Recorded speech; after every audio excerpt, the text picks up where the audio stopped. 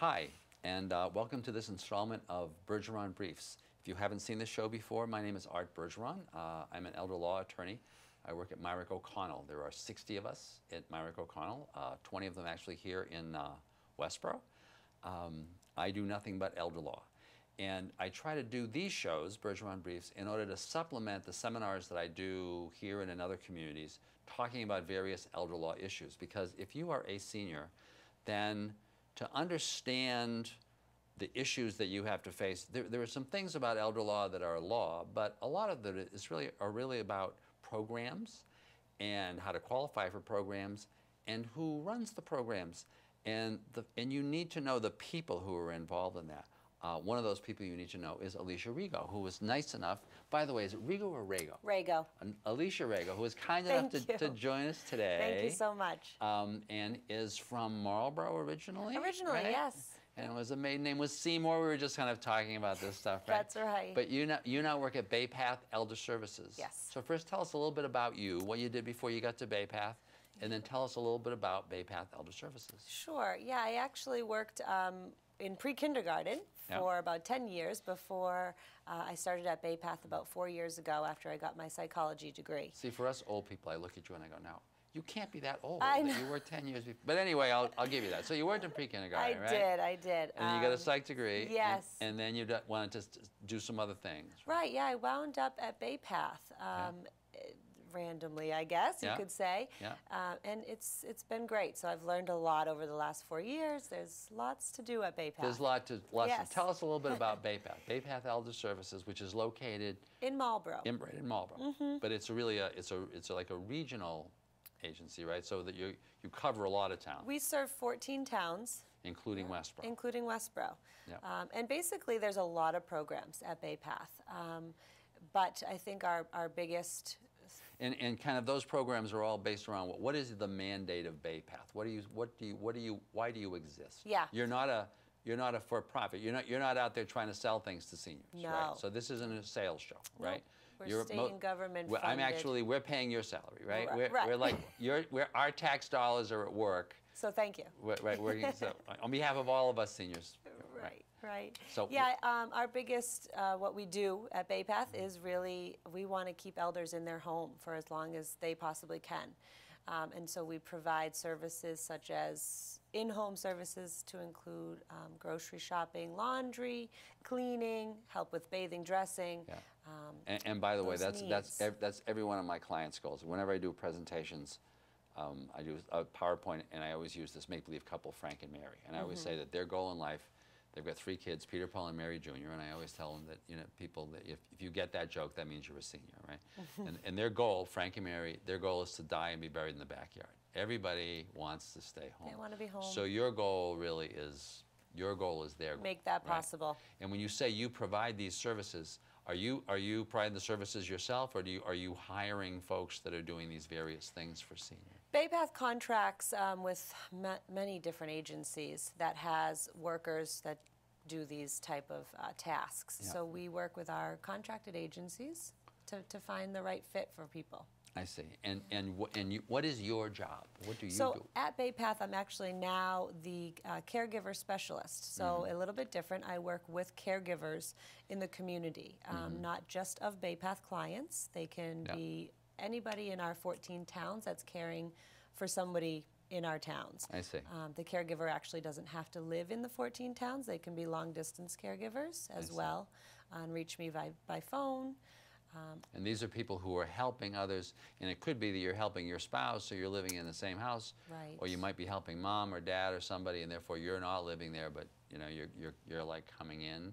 Right, right. right. And and you're so you're helping caregivers of seniors who need any specific kind of care or who just need help in general? Caregiving is such a broad, I think, word. Yeah. Um, yeah. And it's, well, the guidelines really are for anyone over 60 mm -hmm. or anyone suffering from Alzheimer's disease, any age. Um, so usually the people that I see have some sort of health condition. Yeah. Um, but there's no necessary, you don't have to have Alzheimer's, you don't have to have um, anything. really, And, and, specifically. and just to give me a sense of it, because the, the folks that I tend to deal with primarily as a lawyer are folks who have dementia. I always tell Mm-hmm. people, my clients are basically people who are worried about Alzheimer's, or they have Alzheimer's, or somebody they know has Alzheimer's. But in terms of the folks you're dealing with, the, the, the folks that you're, the caregivers you're dealing with are caring for, what percentage of them would you say are people who have dementia versus people who have just other issues? I would say probably over 50%. Over- So, but, but over 50%. So in other words, maybe almost 50% are, are, are not, Yeah, dealing yeah. with those I see a lot of um, people with Parkinson's or ALS, Yeah. Um, other health conditions, Yeah. strictly just diabetes or some memory loss that might not be Alzheimer's or dementia. I see, I see. So it's really, a, so in other words, people are not waiting to call you until they've got a real serious dementia problem. There could be any number of reasons, right, why I they might be calling. I actually encourage people to call um, early just to get an idea of what's out there, Mm-hmm. because too often you see people that um, are at their breaking point. They're getting, you know, caregiver burnout, or don't know what's available, so they don't have anything or any help. Now, can, give can you give me some examples of that? Just, just talk about, talk about, obviously, we're not talking names, but just talk about some cases, because I want people to kind of appreciate Mm-hmm. why this should be called. Yeah, most um, people that I see that get really, I guess you could use the term burnt out. Yep. Um, it's because they're they're helping a loved one with all of their needs, their grocery shopping, their medication management, their money management, um, cleaning, laundry, shopping, even into bathing and dressing. Um, and they might even have a little bit of help, but again, it's sort of it's okay to know that it's it's hard to do it all on your own, and it's not easy. Right. Um, it's okay to accept help, and it is out there. So I think a lot of people just don't realize that it's out there. And, and a lot of times that help that they're Mm-hmm. getting is like the lady down the street, right? Or somebody that they're, some, they're paying a few bucks under the table and people are coming in for a few hours. So I think yeah. a lot of the people you talk to, uh, I should, I should phrase this as a question because I don't know this. Do, do many of the people that you talk to, do they find it surprising that they're actually eligible for some of this stuff? That they can get some of, some of this care, you know, and that you folks are going to help pay for it? Yeah, I think that, that I do find that quite often. Just that people, one, don't realize that BayPath even exists um, or other resources in the community. Um, and then when we go into BayPath and the copay system, which is based on your annual income Yeah. of the uh, care recipient, the elder, or the uh, elder, and if it, they're a couple. Yeah. Um, and then we go into that and they, they say, wow, I can get all these services for, you know, a small amount of money or e- even if it's a large amount of money, you know, they can Yeah. get them. Yes, yes, For- yes. yeah. Yeah, and, and for a copay, and, and, and a lot of those programs aren't necessarily based on, you don't have to be poor, like, you don't have to have no assets to qualify for a lot of your programs. Right. We don't look at assets actually at all. We look at um, just your annual income. Yeah. So, so now give me, give me some examples of people that you've, you know, situations, because you've, you've told me that you've really focused on caregiver support. Yes. And caregiver support, well, maybe you should start by saying, we should start by saying, to kind of define, what, what is caregiver support as opposed to support for the person being cared for? Mm-hmm. What is it? Yeah, I think the person being cared for, um, of course, they will need they need They need- support. um, right. They need uh, uh, services, help Right. with with tasks. I think that caregivers themselves um, benefit a lot with one the knowledge of what's out there and the resources in the community that can help them, Mm-hmm. and two, just um, somebody to say. This is okay. It's okay to feel this way. It's okay to be frustrated. Um, and, you know, let me help you get to where you need to be and, Yeah. some services. Um, I talk a lot about support groups in the area. Um, online, actually, support groups I just learned of, and I think it's so wonderful because a lot of people can't get out. Right, uh, because they're spending all their time they, caring. Right, right. Now, I know it, it, earlier we were talking about, before the show, we were talking about a, a situation that you had actually walked into, which, and I, and I remember you describing the family situation. I was like, wow, I, I, this sounds like a, I've heard this a lot. Can you just talk about that a little bit? With the brother The and brother and the s- sister? yeah, yeah, yeah, yeah. that situation, um, it's a good one because, well, it's a good one for me to talk about because um, it kind of shows the dynamic of my job, which is very different. It can be very different. Um, there was a brother and sister caring for a mother, Um, and she lived on her own in, a, in an apartment. Um, the, the sister, the daughter, was actually the main caregiver. And really, from me, when we met, she just wanted to talk, just wanted to vent, and wanted someone to hear her that understands, Yeah. um, you know, that, that this is what she's going through. And she, And by the way, how did she even find you? Or did you find her? Do her you know mother was in? actually a, a Bay Path client. I see. Yeah. Other than that, I try my best now that I'm in this role to Yeah. um, use some of my time for outreach and marketing. So I'm Yeah. sort of popping my face in all over the place, trying to get people to um, in the community Yeah. to know about my program. Coming on TV show. Right. You do a lot exactly. So now go back to that situation. So, you So- so you talked. You said you you know you met the you were introduced and you met the daughter. Yes, I Had- worked had with you, her. Had you met the mother before? no, I have not. And, and by the way, I think one of the things we're, uh, we, we talked about it was that often you really try, when you're initially going out to see the caregiver, Mm-hmm. to be not necessarily having the caregiver and the person being cared for both there. Right. You really want, because you really want to get a sense from the caregiver what's going on. I think it's important, yeah, for Yeah. someone to be able to speak freely. Yeah. you know, sometimes that might be with the care recipient there, but a lot of times it's it's not. So we try to to make it a point for me to either go Yeah. To them or um, I've actually met caregivers out at like Dunkin' Donuts, just like in a corner. We've been able to talk. Um, I've had them come into Bay Path as well. So in this case, did you go out to, did you go out to her? I went out to her. I see. Yep. And in that meeting, was it just you and her? Just her and I, yep. And then um, I met with her brother, the care recipient's son, actually separately. Yeah. And um, he, what he really benefited from me was information. And he was trying to get his mom on MassHealth and filling out the MassHealth application and who do I talk to and who do I talk to about assets. So Yeah. we talked a lot about elder law attorneys. Yeah. We talked about the SHINE counselor at the senior center. Who provides typically terrific advice. Yes, really. Yes, and um, and who can help with the MassHealth application and things like that. So it was it was very different. So what I do is very different day to day. Now, did you end up meeting with the both of them? I did not. I met with them didn't. separately. They knew that I was meeting with the Right. two of them. You know, the dynamic just didn't work out.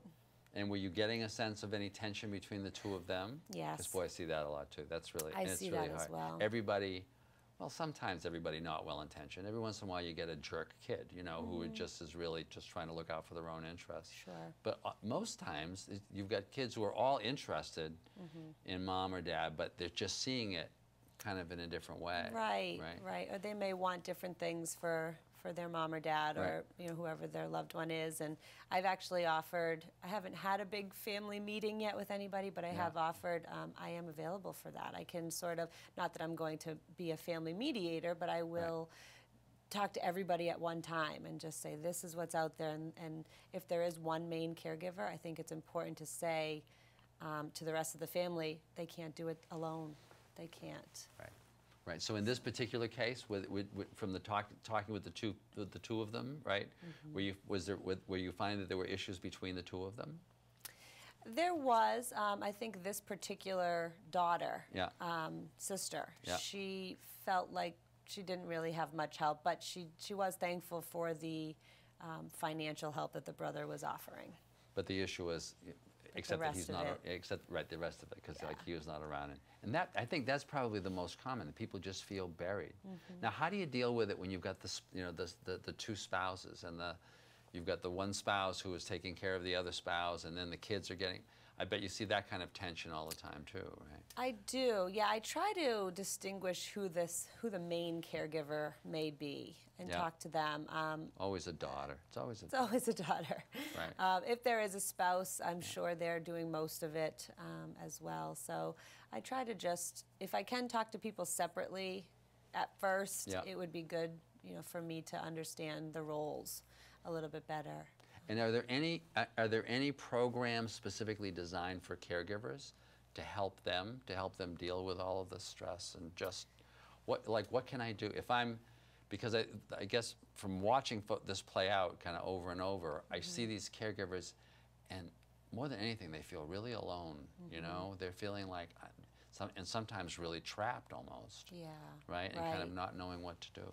Yeah, So and what I- can they do? And there- what can you do for them? Yeah, there are um, programs that kind of cross my desk every once in a while that I Yeah. throw out to all my caregivers that I've worked with um, in the area. But there are trainings. Um, one of them is Powerful Tools for Caregivers, which Mm-hmm. I soon hope to be um, trained in and be able to host one at Baypath. Yeah. Um, that's my hope. And um, And what's so interesting, I've, I've heard of this program. Yeah. The name of it, it sounds like it's powerful tools to help the caregiver deal with the person you're caring for. But it's really much more about how to help the caregiver not go nuts. right, care right, for themselves. And blow up as a result of kind of just trying to handle all this stuff. Right, right, which is very important, um, just to, to care for yourself. Now, I, I know that you, you, you've also mentioned to me that there are, there are programs that can actually give the caregiver some relief and some time, right? By really providing something, some time to the folks who are at home.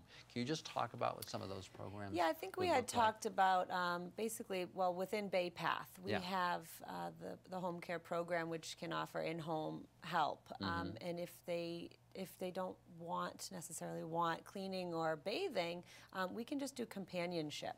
So somebody to just come out and be with your loved one and, and allow you some time out. Yeah. Um, there's also adult day health programs, which is a full day. Um, some of them offer transportation, and you can your loved one can go, and it's a, a socialization program. And, and what, in, in an adult day health program, kind of what typically happens during that day? I would, I would imagine there are a lot of seniors that would be like, oh, I don't want to leave the house, you know? Right, Many of them who have been in that house for a long time. Yeah. That could be really kind of intimidating. Can you Right, just talk about how, what that, what that program, or Yeah. what those programs tend to look like? I think there are two different models of the adult day health program that I've seen. Um, one is a medical model, and it's more um, big open spaces, socialization, and you know you'll meet in a group. Mm-hmm. Um, there'll, there'll be lunch served and snacks, I believe. Um, and then, other than that, there's activities and games and things throughout the day for the person to do. I see. Um, the other aspect I think of that is the social model. I want to say it's Yeah. called, and it's um, the setting is a lot different, more of like a home. Right. It's set in a very small, um, cozy atmosphere, so Right. it, it helps people I think adapt a little bit better. Um, Yeah. But they're both great in their own way. And, and, yeah, I know there's this wonderful place called Pleasantries in Marlborough. That's which I, what I'm thinking of right, now. Tammy Pozaricki. She's great. No, I, I can't remember if I've interviewed here on this show, her- show but just that this notion of having a place that isn't that is really for people. I know, like my brother-in-law goes, my and, and, Mm-hmm. and, and who, who've got kind of some some have some issues, right? Yeah. Um, but just a very safe place and a place where people, among other things, people who've got maybe early early stage dementia. Can share with each other the fact that they have early stage dementia and kind of talk about that, right? you know, because you don't, right. because just like the caregivers feel pretty feel, feel pretty isolated, folks in that position, if you actually have got other people that are going through that, boy, it, ju- it just seems to make it a lot easier. right? Mm-hmm. Absolutely, yeah. So in in order for a person like this person you were talking about, the mother of the two kids, who is already a client, in order for her to her or him to become a client, what does she do? Uh, what does he or she do? And uh, what does it take to qualify?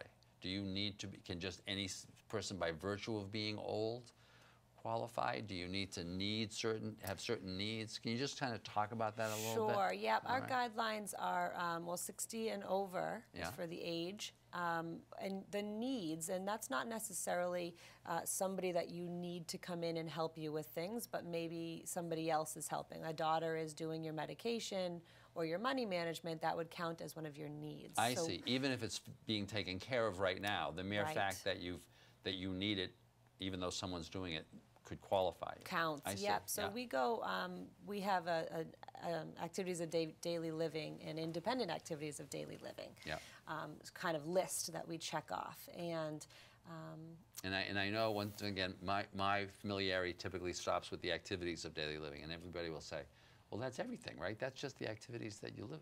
But really, there are the kind of the six official ones, if don't tell me, it, which are I think um, dressing, eating, bathing, toileting, transferring. Yes, Right? yeah. Transferring, getting up out of a chair, getting across a room, sitting down.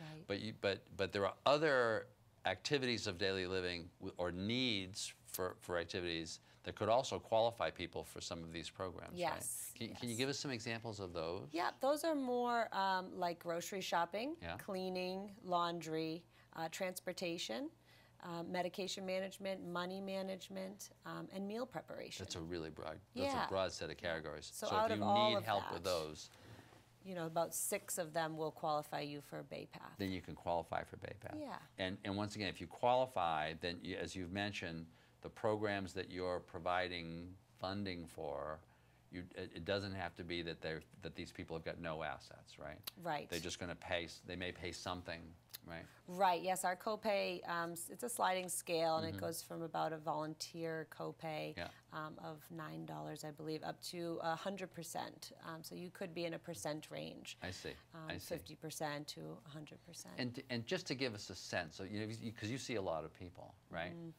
What percentage of the people you see end up, at the end of the day, paying for 100% of the services that you're talking about? I don't think a lot of people come Yeah. on when they hear a hundred percent, but Yeah, they yeah. absolutely can. Um, Yeah. I, I, I want to say maybe only ten percent or so. So a very small Very percentage small of people. amount. So most people can qualify for be wrong, services with a small. No, that's okay. I'm just Yeah. kind of, kind of Yeah. because once again, I think there is this hesitance to call Right. because people will just go, oh, well, you know, I'm not really poor, you Mm-hmm. know, so I really couldn't qualify for this. And, and, what I, I always tell my clients is don't say no to yourself. Call and let them say no. Right. Right? But I think that even even if you don't get you know the services Yeah. through BayPath, just calling can open up so many resources and referrals and things from our information and referral department. Which um, leads me to can the lead next- me to me, lead you to me. Yes. Which leads me to the next question. Also, you have a website. We kind of a- do. A, re- a referral website, which is just wonderful. Yes. Wonderful. Can Our you just talk about talk about it a little? bit? Our website is um, exploding. It's, it's so much information. Um, it's actually called caregiving caregivingmetrowest.org. So that's one word: caregivingmetrowest. Metro Yes, dot .org. Dot org. And by the way, we'll have a banner at this on this show that we'll get to the to the cable station so that people can see that if they want to connect in. Right, Mm-hmm. Great, good. and, um, and and that's a just a great place to go for resources and information in the Metro West area. It's actually 25 towns, Including um, Westboro. including Westboro, Yeah. and it's resources to include support groups, information, um, elder law attorneys, adult day health, um, housing information, transportation in your town. Um, grocers that deliver laundry pickup so That's it's terrific. it's a lot of um, helpful things And one of the ways you can. I, I- did interrupt, one of the ways you can get to it is by town, right? You can literally Yes. click There's a Westboro clickable map. So you can click great. Westboro or a surrounding town if you want to just be local, um, and it will come up with all the things in that town.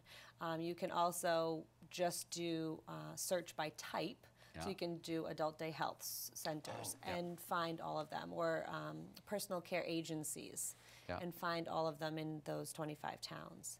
Um, another aspect of the site, which I just want to mention, um, is the information that's available. Um, we have information on all sorts of health conditions, um, just for your sort of knowledge and learning. Right, Uh, as we- opposed to just Googling it, where all you're doing is everybody's pitching a sale, Mm-hmm. which is the hardest part about the Google. I mean, the information's there somewhere, but it's like item number 10,000, you It know? could be anything. So Right. we have sort of just some specific information on a couple of health conditions. Um, we have guides to caregiving information. We have checklists for caregivers. Mm-hmm. Um, two of our brand new things on the website is one that I actually I run. It's the Wellness Wall, and Mm-hmm. it's um, straight from my mouth. It's advice, tips, thoughts, um, things like that. I update every couple of weeks, every week or two actually, um, and it's from my professional and personal experience, I and I, it's it's been going very well. I was going to say, Um, and, and I'm sure that that's constant, that you yourself are constantly updating because you're getting every, like with, with me, you're getting stories every day. Yes. And, and therefore trying to figure out these solutions all the time. Yes. So I take those and, and sort of relay them back into the community Yeah. however I can. Um, the other brand new thing on the site that I'll just mention is the um, advice for younger caregivers. We had a, a woman in Bay Path, who's 30, and um, her mom just had a stroke, and sh- her world was turned upside down changed. overnight. So Right. uh, she wrote this really, really well written um, advice blog style um, and, and put it on the site in, in its own page. So that's there now. So That's great. it's ever changing. I was just going to say it's ever changing. Yes. And it must be kind of fun dealing with these the younger folks also because they're in the middle of their own worlds. You Mm-hmm. know, whether they have already have children and they're trying to deal with all of that stuff. Right. So helping them navigate through that must just be uh, just a huge task. I think it's certainly task. helpful to, to guide somebody To- to because guide there's a them through. lot. So, so a- as you can see, Bay Path Elder Services, well, her, right? Alicia, Alicia Rego, right, Mm-hmm. may be able to help you. Um, or at least may be able to guide you to the folks that may be able to help you. That's, and they're not going to charge you. This is not, this, this is your, she is your tax dollars at work, right? A very useful role for your tax dollars to be playing. So you, if, if you're looking for this kind of information, you should be going to that website. Once again, we'll have a banner, maybe you've seen it already by this point in the show, uh, on how to connect in. I want to thank you very much for coming on the Thank you. show. Thank you as very well. much for watching, and we'll look forward to seeing you in the next installment of Bergeron Briefs. Thank you very much. Música